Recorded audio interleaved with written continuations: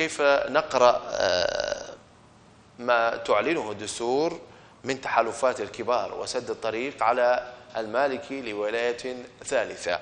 هل حقيقة هناك تحالفات؟ هل هذه القوى قادرة على رص صفوفها وإخراج التحالف أو دولة القانون خارج هذا التحالف؟ يعني الوطنية والمواطن والكرد وتحالفات أربيل المتحالفون في اتفاق أربيل؟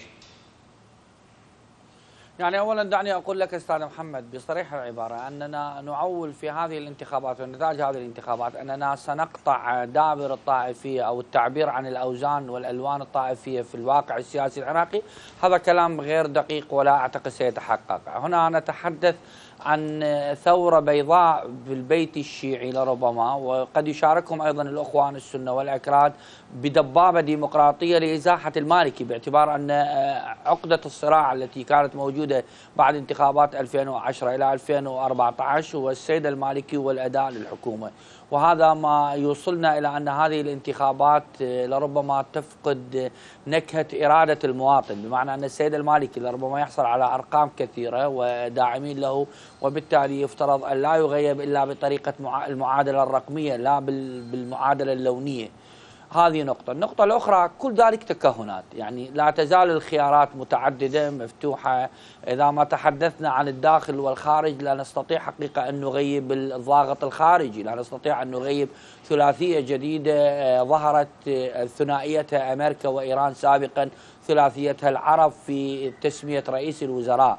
أيضا لا نستطيع أن نأتي برئيس وزراء دون أن تتفق هذه الثلاثية على برامج ومعطيات ثابتة تعطي الجميع للجميع ممارسة الدور في قيادة العراق. يعني لربما تسأل أنت تسأل أو المشاهد يقول حدث ذلك أيضا في انتخابات 2010 نعم. المثلث العربي اليوم ليس كالمثلث الموقف العربي الذي حضره 2010 2010 كان إثبات وجود. 2014 هو الدخول في صناعة القرار السياسي مع الأخوة الشيعة مع الأخوة الأكراد وهذا متغير جديد وموضوعي لأنك تتحدث عن توازنات في المنطقة يعني لا نستطيع اليوم أن نغيب التوازن اللوني في العراق كما لا نستطيع أن نغيبه في لبنان كما لا نستطيع أن نغيبه في سوريا وبالتالي عملية التوازن والاستحقاقات كلاهما آه، يكمل بعضه البعض نعم. نعود إلى نقطة نعم. هل يستطيع الإخوان في التيار الصدري والمواطن وهم عازمون على أخذ رئاسة الوزراء من السيد المالكي مع متحدون مع الأكراد. أنا أعتقد المعادلة فيها من الصعوبة. سوف لن نستطيع أن نذهب إلى الأغلبية السياسية لثلاثة أوزان تلعب أدوارا كبيرة في, الواقع السياسي العراقي. اولا الوزن الأول هو الكتل الكبيرة من خلال الاستحقاقات الانتخابية، قد يتوفر هذا الوزن في المواطن والاخوه في التيار الصدري مع الأكراد ومع متحدون، لكن هناك وزنان مهمان جدا. هو الوزن الطائفي والوزن السياسي، الوزن الطائفي أيضا قد يقول الأخوة أننا نمثل الشيعة وهؤلاء يمثلون السنة، لكن الوزن السياسي هو توازن القوى السياسية من الداخل إلى الخارج ومن الخارج إلى الداخل بمعنى قد يكون هناك إصرار لدى قوة مهمة جدا إيران على سبيل المثال أن يكون السيد المالكي رئيسا للوزراء أو بديلا من السيد المالكي لرئاسة الوزراء لربما بهذا الاتجاه نعم. أو أن الأخوة الأكراد يجدون ضمانات وهم مدعومون من قبل الولايات المتحدة الأمريكية أن السيد المالكي أو بديل السيد المالكي أو رئيس الوزراء التسوية الذي سينطلق بعد أيام قريبة عندما تعلن النتائج آه، آه، آه، لربما يقدم ضمانات الطموح الكردي بمعنى مادة 140 النفط والغاز وما شابه ذلك وتحديد أو رسم الجغرافي لمناطق كثيرة. بالتالي أنا أعتقد جميع الخيارات أستاذ محمد مفتوحة ولا يستطيع أحد اليوم أن يضع خيارا يعتقد فيه هذا سيتحقق. لكن هناك أيضا سؤال. نعم. نحن أمام ثلاثة خيارات هل سنشكل أغلبية سياسية أم حكومة شراكة وطنية أم حكومة محاصصة أنا قلتها لحضرتك ولربما لقنوات كثيرة سوف نعود إلى المربع الأول لنشكل حكومة المحاصصة التي تعبر عن الأوزان أو الأثقال أو الاستحقاقات الثلاثية نعم. التي تحدثت عنها نعم لكن هنا الصحيفة ربما تذهب إلى إلى شيء من التفاؤل سيد جاسم يعني وتستند وتعتبر المصادر أن التوجيهات القوية للسيد الصدر والحكيم لتشكيل الحكومة الجديدة ستسهم في ظهور تحالفات غير طائفية وهذا أمر إيجابي يعني للغاية في مسيرة العملية الديمقراطية كما تصف الصحيفة. يعني إلى أي مدى ربما يكون هذا التفاؤل واقعيا أو قريب أو سهل المنال؟ يعني اختبار النوايا في العمل السياسي. هل أن هذه القوى السياسية فعلا تجاوزت الخطوط الحمراء السيئة التي كانت تحد العراق بأن يكون رئيس الوزراء الشيعي ورئيس البرلمان السني ورئيس الجمهورية؟ هل سيقبل الأخوة في التيار الصدري والمجلس الأعلى أن يكون رئيس الوزراء سني هل سيقبل أن يكون رئيس الوزراء كردي؟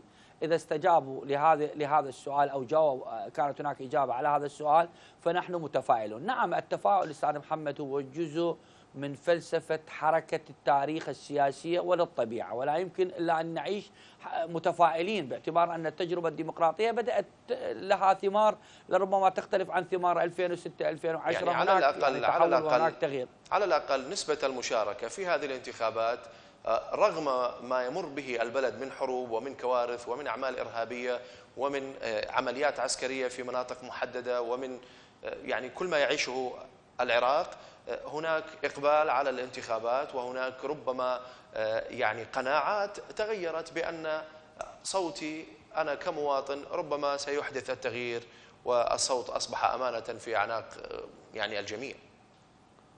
مهم مهم جدا. طبعا طبعا أنا يعني آه، حقيقة أشكرك على هذه الملاحظة. مهم جدا أن الشعب العراقي أثبت بهذه المشاركة التي وصلت إلى 62% هو يعشق الدولة المدنية والإسلام الحضاري والتعايش السلمي وهو يؤمن أن الديمقراطية هي آلية لتصحيح أخطاء قد ترتكب في فترة ما وبالتالي صوته صوت مهم.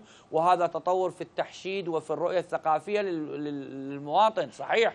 أن الديمقراطية معايير في معايير ديمقراطية توضع في الدستور ومؤسسات أو هياكل مؤسسات لكن التحشيد والثقافة السياسية للمواطن وللسياسي أو المرشح أمر مهم جدا بل هو الأهم في المعادلة. وبالتالي أعتقد هذا الحضور هو خير دليل على أننا نعشق الدولة المدنية، نعشق الديمقراطية، نعتقد بأصواتنا نؤمن بذلك.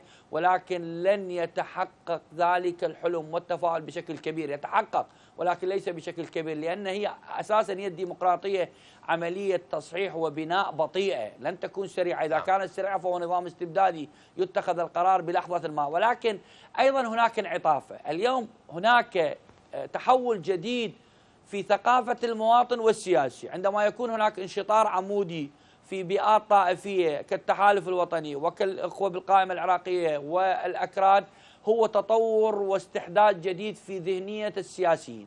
وبالمقابل المواطن العراقي عندما ذهب لينتخب هذه المرة ربما بنسبة كبيرة أو هذه الأغلبية الصامتة التي أعتقد لها آه، الدور الكبير في أن تغير كثير من المعادلات آه، بدأت تذهب بعقولها أكثر من قلوبها وهذا تطور يحسب إلى التراكم في النظام الديمقراطي العراقي. نعم بدأنا نصنع الأمل أو بدأ الأمل لدينا يصنع الطموح أو يحقق الطموح في المستقبل لربما ليس القريب. جميل. ننتقل إلى صحيفة صباح وفي عناوين نطالع اختطاف نساء من الفلوج.